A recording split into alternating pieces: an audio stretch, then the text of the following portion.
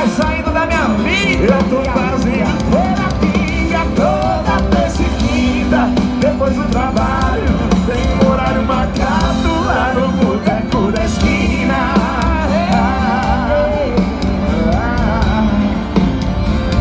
Eu tô